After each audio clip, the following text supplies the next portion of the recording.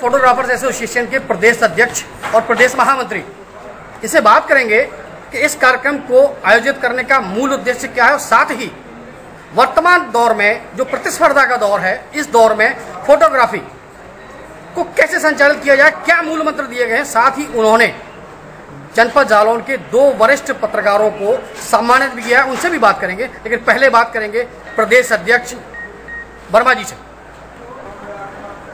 देखिए photographer association Uttar Pradesh का एक ही मूल सिद्धांत है कि ज़िले के सभी फोटोग्राफर भाइयों को संगठित करके और उनको शिक्षित करना भी हमारा ही उद्देश्य है। जी। और सबका मान सम्मान करना ये भी हम एक परिपाटी पे लाए हैं कि उन लोगों ने भी हमारे समाज के लिए अपना बहुत सारा योगदान दिया है। हम उन्हें कभी नहीं भूलेंगे इसी कड़ी में आज हमने अपने बुज़ुर्ग फोटोग्राफर भाइयों को सम्मान किया।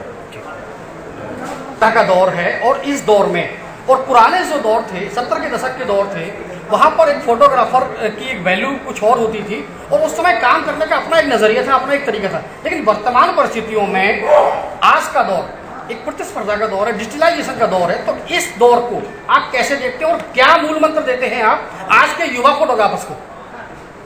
देखिए, प्रतिस्पर्धा का दौर ज़रूर है लेकिन संगठनों का काम ही यही है कि हम लोग संगठित होकर के जो नई नई टेक्नोलॉजी आती है उनसे हम अपने फोटोग्राफर भाइयों को रूबरू कराएँ और इस कड़ी में हम लोग हर ज़िले में एक फ्री वर्कशॉप करवाते हैं जिसमें कि जो हमारे मेंटर साहब आते हैं वो सभी कैमरों के बारे में जानकारी देते हैं। जी। और संगठन का मतलब ये है कि सब लोग साथ मिल करके चलना और जो पहले का दौर था पहले फोटोग्राफर की बहुत अच्छी वो होती थी। बीच में हम लोगों ने कुछ अपनी साख को डाउन किया है। जी। या तो हमारे पेशे में कुछ बाहरी लोग आ गए जिन्होंने अपने उसको कलाकार ना होते हुए उसने आपको एक बिज़नेस टाइप बना दिया। जी।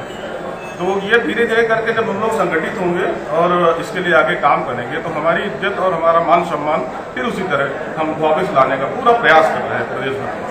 ये थे। आज के इस आधुनिक की, जो पत्रकारिता का दौर है या जो फोटोग्राफी का दौर है इस पर उनके क्या विचार हैं?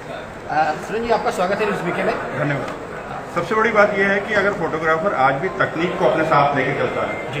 तो उसका वही मान और सम्मान होगा। दिक्कत ये हुई कि फोटोग्राफर ने तकनीक को भूल गया। उसने सोचा कि जो कैमरा है वो पूरा कार्य करता है और जो मैं हूँ मेरा कोई वजूद नहीं है। ये सबसे बड़ी गलतफहमी रही। जी। कैमरा तभी कार्य करेगा जब आप उसको कलात्मक दृष्टि से सोचेंगे और उसको पूर्ण रूप से उस इमेज फॉर्म में उसको कैप्चर करेंगे। इमेज फॉर्म में तब कैप्चर कर पाएँगे जब आप इक्विपमेंट का 80 परसेंट जान पाएँगे। तो वो जो सामंजस्य था बीच में वो सामंजस्य हटा जिसकी वजह से फोटोग्राफी उस लेवल पे नहीं पहुँच पाई जिस लेवल पे पहुँचना था। और बहुत सारे लोग जो नए बच्चे हैं जो लोग आ रहे हैं और डिजिटलाइजेशन का फॉर्म है इसमें आपको सोशल मीडिया से भी एक्टिव होना पड़ेगा अपनी कला को दिखाने का। एक्चुअली क्या है कि आज की तारीख में किसी के पास इतना टाइम नहीं है कि आपके दरवाजे तक आए। आपके पास सोशल मीडिया के द्वारा भी एक प्लेटफॉर्म होना चाहिए जहाँ पे आप अपनी बात पूरा ग्लोबलाइज करके कहीं पर भी रख सकते हैं। ऐसा नहीं कि आप अपने ज़िले में बैठे हैं और अपने ज़िले में काम करें आप कहीं पर भी काम कर सकते हैं। तो आपको उस लेवल पे आना पड़ेगा क्योंकि आज की तारीख में फोटोग्राफी खासकर वेडिंग फोटोग्राफी इतनी महँगी हो गई है कि आप अपने ज़िले में खाली काम करके आप उतना पैसा नहीं कमा पाएँगे जिससे कि आप अपने व्यवसाय को आगे बढ़ा सकें। ये थे हमारे उत्तर प्रदेश फोटोग्राफर्स एसोसिएशन के प्रदेश महामंत्री अ, सुरेश जी बिष्ट जी।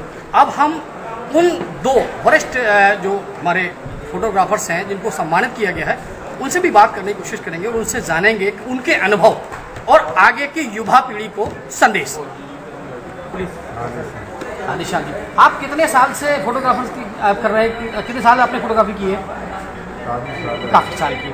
तो आपका अनुभव क्या कहता है कि तब की फोटोग्राफी में और आज की फोटोग्राफी में कितना बड़ा अंतर है? तो कुछ करने ही नहीं पड़ता बड़े सब रंगीन की चीज़ें और पहले कंप्यूटराइज कैमरे हैं सब। अच्छा आज आपको सम्मानित किया गया आपको कैसा लग रहा है? बढ़िया सब लोग आगे बढ़े सब लोग हम देखें जब तक नहीं ये थे हमारे राधेश्याम जी और हम दूसरी बात करेंगे रविंद्र फाटकार जी से। अ, स्वागत है आपका न्यूज़ वीके में और आप हमें अपने अनुभव बताएँ। मान्यवर आज मुझे जो स्वागत मेरा किया गया है उत्तर प्रदेश फोटोग्राफर एसोसिएशन की तरफ़ से। जी। मैं एसोसिएशन और चारों मिलकर के समस्त फोटोग्राफरों का आभार व्यक्त थैंक ये थे रविंद्र फाटकार जी जिन्होंने अपने अनुभव भी व्यक्त किए। आप बने रहिए हमारे साथ क्योंकि खबरों का सिलसिला यहाँ कभी खत्म नहीं होता जालों से न्यूज़ के लिए देवेश।